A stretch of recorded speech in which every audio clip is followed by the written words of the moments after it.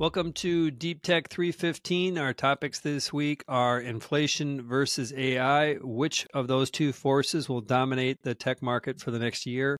Second, we're going to talk a little bit more about the opportunity and what expectations should be around August 8th and the robo-taxi announcement from Tesla.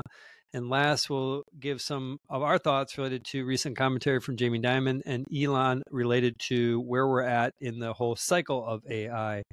So we'll take it to the top here. As of this recording, we are on the same day where a hot CPI number, it was an expected hot, but it was even hotter than hot.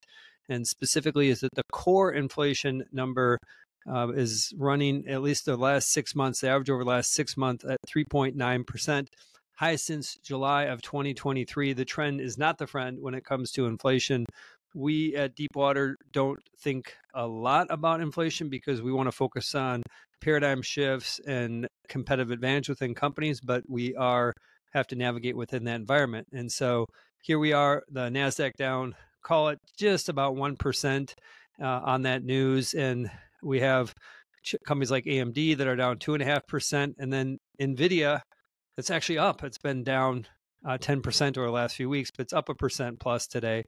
And so, uh, you know, as you think about this, is the tug of war that I think is going on here. Is do you believe that the stronger arm is inflation or the power of AI, at least over the next twelve months?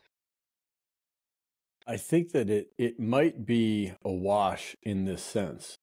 I've I've always felt that the mega cap tech companies are a mechanism for offense and defense. They're offense because they have these AI plays. They've got probably the best optionality aside from a few private companies uh, that we do try to invest in at Deepwater. Um, you know, I think the mega cap techs have that AI optionality. And then on the defensive side, they've got fortress balance sheets. And so even if we get a recession, even if we have to get pushed into recession because inflation doesn't go down to the Fed's 2% goal, I think these companies are are in a good spot. Does that mean the stock can just keep going up forever? Probably not. I think if the market pulls back broadly, those stocks may slow down too. But I say it's a wash just because like I believe in the power of AI in a longer time period. But when you talk about six, 12 months, it, it might be one where it's just this tug of war and we we kind of end up maybe nowhere. Mm-hmm. The rate expectations are probably sitting right around a couple cuts still after this hotter number, a couple cuts this year that's down from I think originally it was five.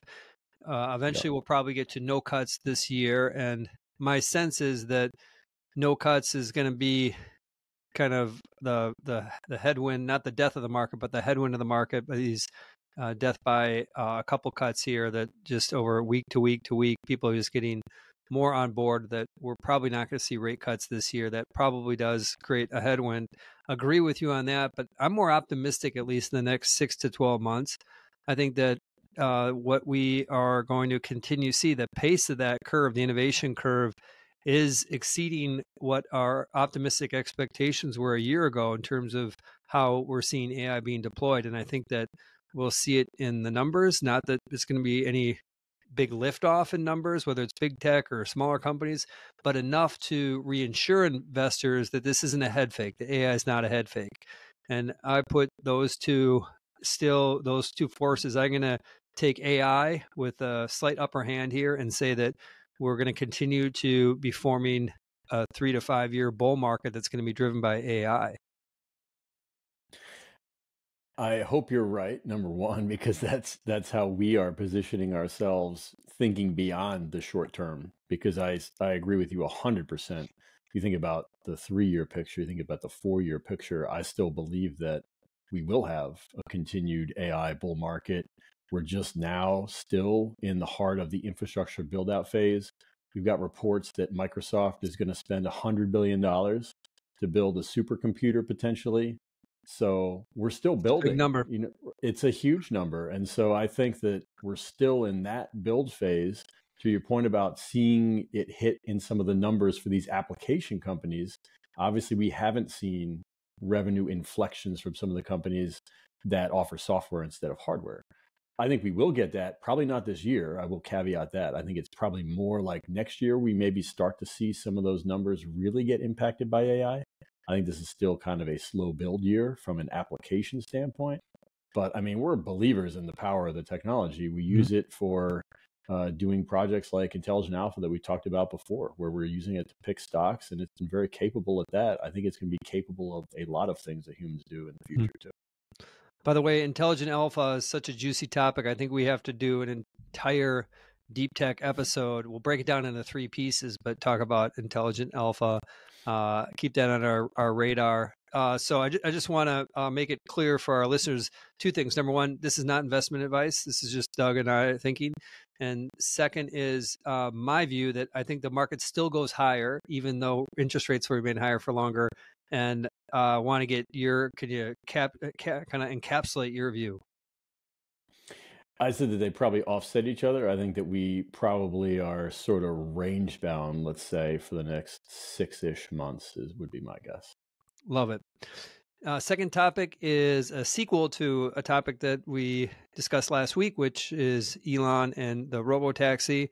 When we recorded the last episode, we felt like this was going to come. There was going to be some sort of announcement about an event, and in fact, it did come after we had recorded the episode. And the case, uh, of course, is August 8th. We're going to see uh, whatever they're going to say about Robotaxi.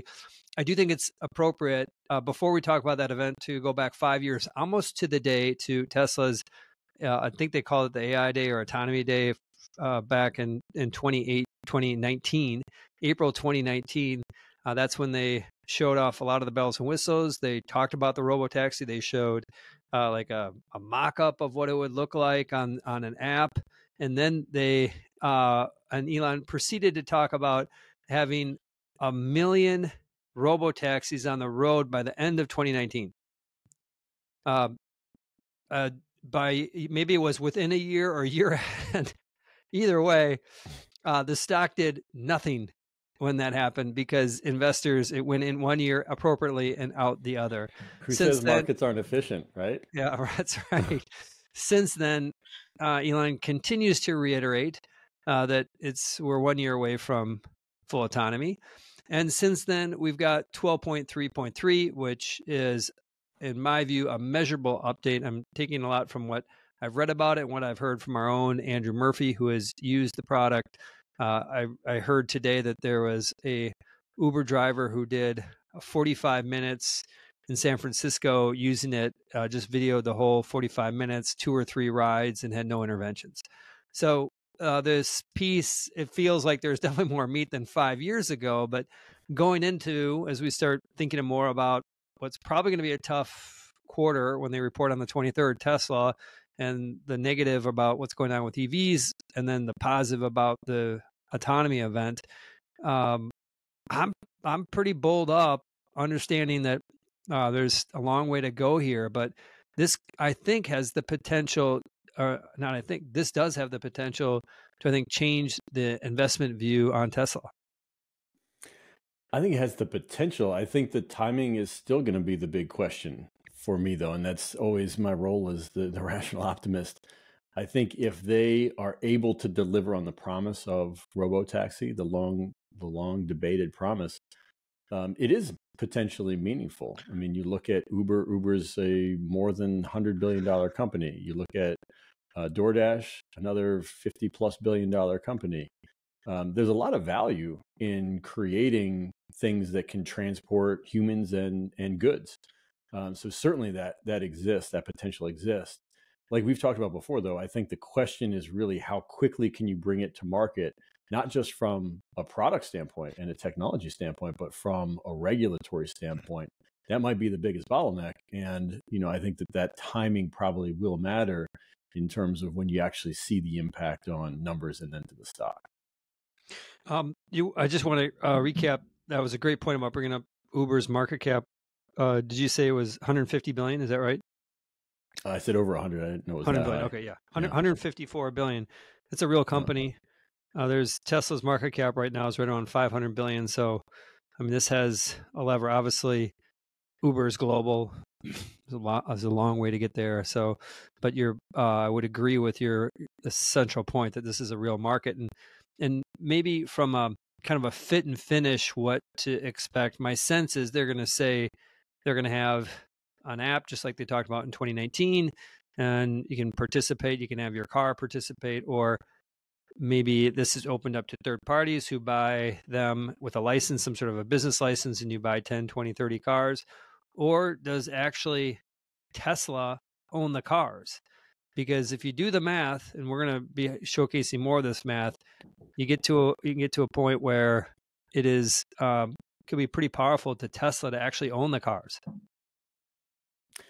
I think that is um, important for a few dynamics because when you have this self-driving robotaxi network that we've talked about, one of the unanswered questions is who's ultimately responsible, right? If if there is an accident, and there will be accidents, robots sure. won't be won't be perfect, just as humans are. They'll be better than humans, but they still won't be perfect. Um, is that the responsibility of Tesla? If it were a person's car, someone who owned a Tesla and was renting their car out through the network, would it be their responsibility? So, to the extent that obviously if Tesla is owning and operating the vehicles, I think it makes that part of the story clear. And I do think that that part of the story does play into this broader regulatory question because I think I think the government is going to want to know ultimately where will responsibility mm-hmm. lie. They might even want to have a say in terms of where that responsibility lies. I think it also lines up having Tesla having their own fleet lines up with what they've talked about Optimus and about labor and kind of disrupting some of that and those opportunities too. And so I'm uh, I'm uh, keenly awaiting for August 8th. And uh, final topic here mentioned that Elon and Jamie Dimon had some comments related to AI. We're just going to focus on one of those comments. I'm going to pull it up here to make sure I get it right. Is that uh, Elon said this week on a podcast that this is related to I think artificial general intelligence, but I'll read you the quote and want to get your reaction to it. My guess is that we'll have AI that is smarter than any one human probably around the end of next year. Can you decode what that means? Well, this is one of my favorite debates about AI because what it means to be smarter than a human is highly subjective. Right. Does that a- AGI or not? I don't know. Is smarter would, than a human would, AGI? I would argue that's probably not AGI, but I think what AGI is is even debatable. like we can get right. very philosophical about it. I think what Elon is basically saying, and this is how I think about it. Again, going back to what we talked about with Intelligent Alpha, I use these products with a lot of depth. And I think when you talk about is AI smarter than a human, it's it's a difficult question. It's even a flawed question to some degree because you're trying to equate it to human-like intelligence mm-hmm. versus capability. That's the distinction that I think is really important to make. Is AI learning and thinking about the world like a human right now? No. I don't know that it ever will do that. But in certain contexts, in certain use cases, even self driving, take that as an example. Is it as competent as a human? I think it probably is. Self driving, I think we could make a good argument that it's probably better than a human if you look at accident rates for the technology versus human beings. Sure. So I think we're probably close to certainly use cases where AI is smarter than a human. And I think from a, a, broader standpoint, and we're seeing it with LLMs because they are so dynamic, they can be used for so many different things and they can learn so many different things. Um, I think that we're probably getting to a place where, again, from a capability standpoint, not does it think like a human. From a capability standpoint, I think Elon might be right. Exciting uh, exciting to think about that. Exciting to think about what comes after with super intelligence and uh, appreciate everyone joining us for this last this episode. We'll see you next week. On behalf of Doug and Gene, bye for now.